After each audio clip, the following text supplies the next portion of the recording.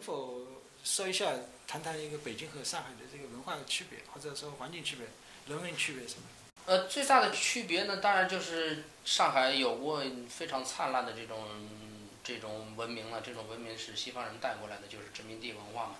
因为我在我看来，就是说，嗯，东方从来是人类的一个黑洞，在这个黑洞当中，凡所是被殖民过、被殖民撕开一个口子的地方，它都是在这个国家处在一个最好的一个状态、最好的一个状态的地方。恰恰像上海就是如此，事实上也是如此。你知道，今天为止，嗯，说句不好听的话，这这个国家的人在共产党在调配上海的资源，给在养活着其他地方的人。很多人说这个是全国资源上海，你怎么看？这不这是很荒唐的事情吗？因为工商业从来不可能在不毛之地上发展起来。上海的观众网友大家好，这里是上海之声，我是主持人韩安全。今天我们请到的嘉宾是许思燕，我们准备和许先生聊一下中共、中国这两个概念。嗯，这两个概念到有什么区别，或者说这两个概念是一回事还是两回事？嗯，许先生，你知道这个很多人说啊，很多人说中共啊，中国就是中共啊，啊，你爱中国就是就是爱中共啊。有些人说这是共产党的阴谋啊，你们不能中了他的这个诡计。呃，中国是中国啊，这个嗯中共是中共，嗯呃，嗯，完全是这个是两个不一样的东西。所以呢，所以呢，我们要我们一定我们要反中共，但是我们要爱中国。呃，您对这个问题，请谈谈您的看法。在中国是你没有办法把这个共中共和中国给分开的，它就是它就是一个愚昧的共同体。它只不过是在这个愚昧的共同体上生出来越来越恶劣的东西，人是那您的意思是，是不是说中共等于中国？这个中国既指中华人民共和国，也指传统意义上的中国。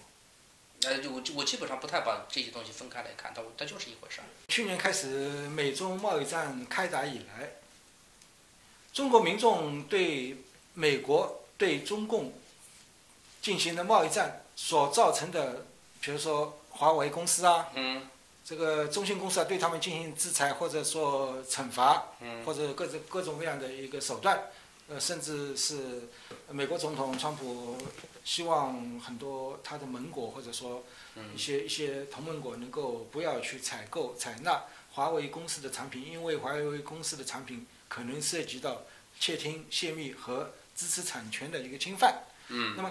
很多民众就会觉得，如果啊，你一个民主国家、一个自由世界，如果对中共专呃专专制政权进行这个打击，或者说进行一个遏制的话，你千万不要不应该，他们认为你不应该伤及到中国的企业，尤其是中国的民间企业，你们对民间企业大打出手，那么他们觉得啊，你这样是中共和中国不分，呃，是在打击中国的这个经济啊。是，所以呢，他们希望西方的，尤其是美国，不要对中国的经济进行伤害，或者说进行一些一系列的一个一个措施，呃，制裁措施。那么，希望他们只是对中共啊，就是精确制导导导弹一样啊，对这个定向的这个进行爆破，不要去伤及到中国的一个呃国民经济或者中国的经济，因为他们认为，哎。等我等于某一天我们中国民主了，我们这些企业还是需要的。我们这些企业能够对这个中国中国的这个民主事业有很大的一个促进和帮助。所以呢，他们就希望这个美国政府能够高抬贵手啊，这个放中国民营企业，比如说华为、中兴这种企业，披着民营企业外皮的这些这些央企能够放他们一马。你怎么看这些事情？这个事情我是觉得还是比较滑稽的，因为它肯定还是有几个层面的问题。第一个层面呢，最重要的一个层面，我觉得就是还是有很多中国的这个对中共不爽的人，他们老是把川普当成这个中华人民共和国的总统了，或者是他们心中的那个中国的总统。但事实上，川普是美国的总统，他的所有的工作，他所有的他要效忠的是这个美是星条旗所代表的这个国家，这是最正当的，而且符合道德的一种一种选择。他的选择那就是中国是我的敌人，这毫无疑问。他偷走了我的工作，偷走了我们这片土地上人的创造，他们是贼。这个东西是毫无疑问的，非常有正当性的。他没有理由去替你中国的这些一人去争取自由。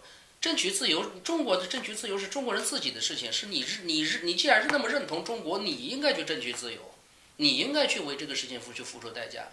另外，如果从第三点来看的话，那就是说，那那你在你你你，如果是你把中国比作纳粹德国的话，那纳粹德国的话说，哎呀，我们只应你你你美国你只应该打击希特勒，你不应该去打击普通的德国公司克虏伯，你都不应该打击。我觉得这个，当两个国家处在一种敌对状态下的时候，需要分彼此吗？最新的好像美国副总统啊什么，就把这个韩国啊呃北韩、伊朗、叙利亚和中国列为四大的这个野野蛮的流氓国家。对啊，它这个流氓国家自然也就包括了把这个中把这写中国两个字，没有写中共，对吧？呃，因为它就是一回事嘛，对吧？那你你你你不存在说是没有中国的中共嘛，对吧？我如果是我们要把中国和中共分开的话，你告诉我，如果没有中国还有中共吗？这是一个最常识但是反过来可以啊，没有中共可以有中国。没有中共也可以，就没有中。如果你真正的要去除掉的这个这个中中共的这样一种邪恶观念的话，这保证基于我刚才讲的那几点自由的基础之上，中国这种国家还能存在吗？一种王朝体系还能存在吗？这种王朝体系也不应该存在的。他们就是要建立一个没有中共的王朝体系。那是更不可能的。然后继续去欺负欺 欺负周围的人，是吧？对啊，对呃不是我们在网上，建立一种朝贡体系。对，我们在网上面不是看到很多人对维吾尔族和这个藏族的这个独立要求，他们觉得哎呀，嗯，你这个藏族在长江流域还是什么这个水源的这个上游啊，你掌握着这个中华民族这个水水源的这个命脉，你千万不能独立，因为什么？因为我们中华民族千万不能让我们的水源源头啊，你变成一个外国人你。说这人，你说这个是在某些这个知识分子当中比较流行的一个看法，而且你你说的这这具体是谁，我也知道。这个人在呃几天前我我见过，那他他的和另他的另外一个朋友，在当时我们在自由讨论的时候，他说过一句话，说这个。嗯，大概意思就是呃那个地方如何如何。我当时就是义愤填膺。说不，我我没有义愤填膺，我就提醒了他一句，我说你干嘛老惦记着别人家的财产？嗯，他认为是他们家的，哎，不，这是不符合文明逻辑的。而且 那你你这个你你你们家邻居院子里面有一些很好的东西，他们这种人是不是可以称为爱国者？那我觉得叫爱国贼。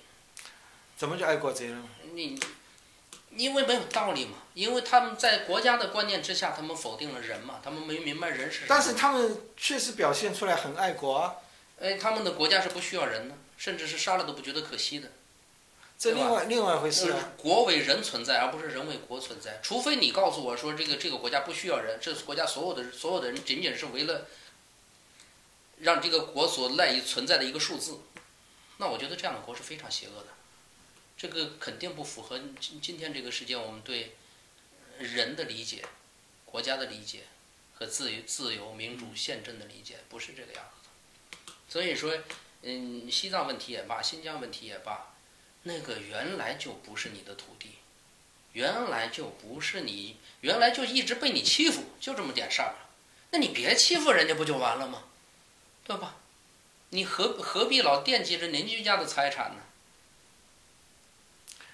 习惯了可能已经。嗯，他们的国家观念的建构当中就包括了这这些内容。但是有时候也无可厚非，为什么呢？因为这一代人啊，包括我们这一代人，从小到大受的什么教育呢？共产党的教育，在共产党的教育体系里边长大成长，在中国共产党教育体系里面，我们获得了知识，我们的课本都是共产党编的，那么所以呢，自然而然、潜移默化，我们接受了共产党所有的洗脑，那么结果呢，就是人人成为共产党的信徒。呃，八零年以后呢，中国的年轻人接触了很多西方的书籍和知识。啊，他们呢恍然大悟啊，知道这个有很多先进的一个思想和理念，和中国的以前这个受所我们所受的教育呢，是完全是格格不入的。对呃，那么我们呢，几乎就是一个有一个种感觉，就是打开了一扇窗户啊，让我们看到了蓝色的天空嗯和这个金色的阳光。呃，我们感受到了到了这个真理和知识的温暖。那么，在很多年轻人就自己去自学，然后去去思考、去讨论，他们得出了很多一个新的一个概念、概念、观念。那么这些观念呢，使得一九八九年，嗯爆发了北京的学生请愿运动，因为学生认为一个我们的国家啊，我这个国家不管是历史上的中国还是中华人民共和国，他们觉得我们这个国家应该通过改良，共产党应该经过改良，经过政治改革，逐渐的过渡到西方的民主体制。那么您对这一段的这个呃转变是怎么看？有你是否有您的自己的一个想法？实际上就是说，嗯，那个一方面是翻译到中国的著作，基本上都是一些左左翼的著作。真正的像我刚才提到那哈耶克的书，在八十年代的时候并没有流行起来，很少有人看。嗯，呃，这就导致了一个问题，在中国不不仅仅是知识界，可能在很多普通人当中对西方都是误读的。所以我，包括我们我们现在生活的这个地方，你看华人这么多，他们并不去深入的去了解西方文明政治的根基是什么。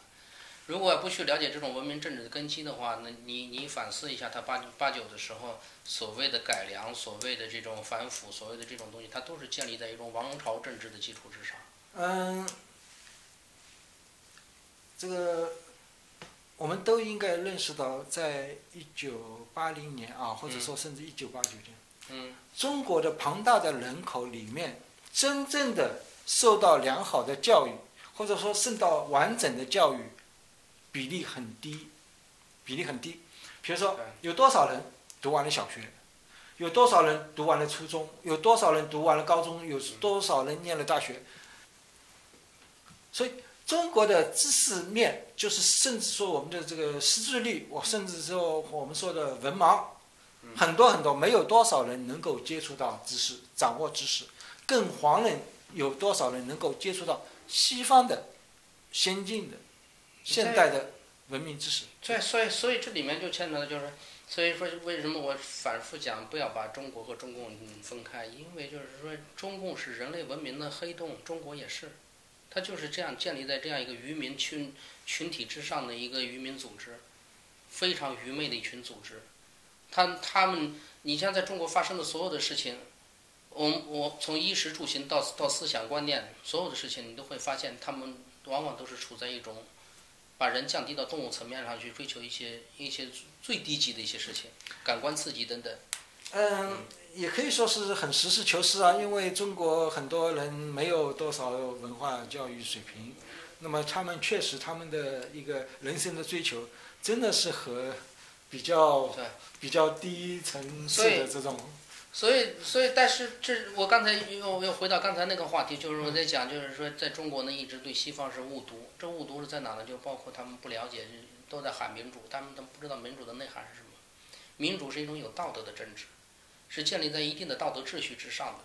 如果如果这地方的人要是普遍的没有道德的话，这种民主是建立不起来的。我讲个最简单的例子，民主是一种制度，是吧？这我们都知道，只要这种制度建起来，它会反过来促进人性的往往向上的方方方向发展。